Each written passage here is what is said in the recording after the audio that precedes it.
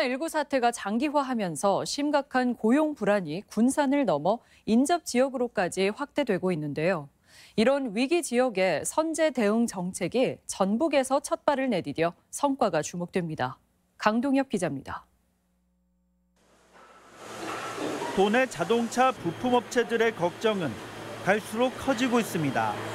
부품을 납품하던 GM대우가 문을 닫은 데 이어 현대차 전주 공장마저 경기 침체로 생산 물량을 크게 줄였기 때문입니다. 나름대로 활로를 모색하고 있지만 코로나19 사태까지 겹치다 보니 미래는 암담하기만 합니다. 지금 내수 시장뿐만 아니라 지금 해외 지금 수출 시장까지 완전히 지금 막혀 있는 상황입니다. 저희 매출에 지속적인 하락이 지금 이어지고 있는 상태입니다. 특히 익산과 김제, 완주는 GM대우와 현대차, 타타 대우의 자동차 부품 협력사의 절반인 170여 사가 있는 상황. 하지만 정부 지원은 산업 고용 위기 지역으로 지정된 군산에 집중되다 보니 이들 업체들은 소가리를 하고 있습니다.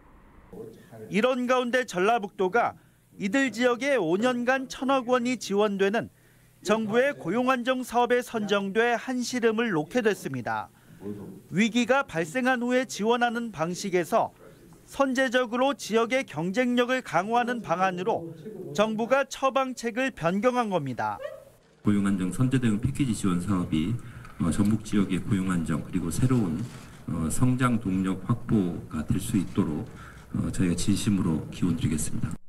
상용차 산업 활성화와 농식품 산업의 고도화, 신산업 육성과 고용안정 체계 구축이 추진되며 만 명의 일자리 창출이 목표입니다.